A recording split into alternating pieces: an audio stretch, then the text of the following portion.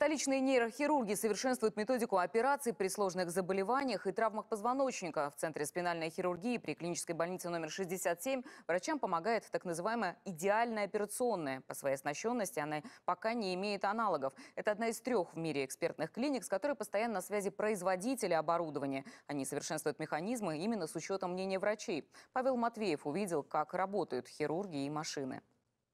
Поход на томографию и уж тем более на рентген здесь пережиток 20 века. Ни к чему тратить время и нервы пациента. Томограф приедет к нему сам, во сне, уже когда тот будет под наркозом. У сегодняшнего пациента серьезный перелом. Обломок кости грозит повредить спинной мозг, может дойти до паралича. Чтобы не дошло, хирурги зацепятся за соседние здоровые позвонки, введя в них имплантат, титановые винты. Скрипят стержнями, которые возьмут на себя нагрузку и дадут больному позвонку возможность восстановиться. Сама операция не нова. Уникальность не в том, что делают, а в том, как. И даже не в том, какая здесь аппаратура, а в том, как ее научились сочетать. По своей оснащенности эта операционная не имеет аналогов не только в России, но и во всем мире без всякого преувеличения. Нет, где-то еще, конечно, вся эта аппаратура есть по отдельности, но чтобы все сразу в одном месте, такого нет нигде.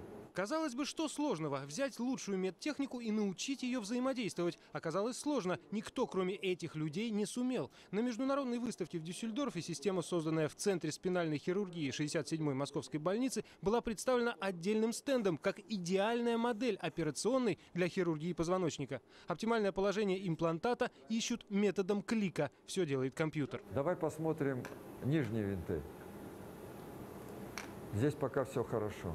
Дефекты установки имплантата в спинальном центре практически исключены. Благодаря взаимодействию робота и томографа недочеты корректируют прямо по ходу операции. После того, как пациент покинул операционную, ничего переделывать не придется. Не нужно нового наркоза, не будет нового стресса. Реабилитация короче обычной, а доза облучения меньше. Было установлено 4 импланта титановых винта.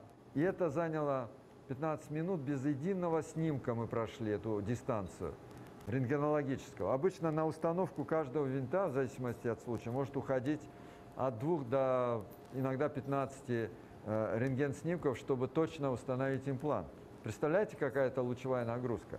При этом спинальный центр не только потребитель, но и генератор идей. Это одна из трех в мире экспертных клиник, с которыми консультируется производитель робота, что и как можно улучшить. Трудности, с которыми мы сталкиваемся в процессе э, операции с использованием этих технологий, да, мы о них сообщаем, да, то есть такой механизм отрицательной обратной связи, и это позволяет двигаться дальше, да, то есть создавать какие-то новые механизмы, какие-то новые механизмы регистрации, совершенствовать программное обеспечение и совершенствовать само железо. Пациента эти подробности, как правило, не волнуют. Его волнуют результат и собственный страх. Операции на позвоночнике из тех, на которые люди, беспокоясь за исход, порой не решаются до последнего. Руководитель центра Дмитрий Дзукаев, тот самый, кто только что проводил операцию, замечает, вид супераппаратуры пациентов заметен заметно успокаивает. Это прямая польза для пациента. Это безопасность пациента. Технологии, роботы, они не подвержены усталости. Да, у них не болит голова, у них э, там, может не скакнуть давление, у них не дрогнет рука. Поэтому пациент получает в первую очередь э, фактор безопасности и отсутствие э, человеческого фактора в негативном смысле. Тех, кто боится восстания роботов, тоже есть чем успокоить. В позитивном смысле человеческий фактор остается. В технической среде, которую создали в 67-й больнице, главный пока, к счастью, все же человек. Гомо сапиенс. Павел Матвеев, Сергей Кузнецов, Олег Колчков, Руслан Башко. Первый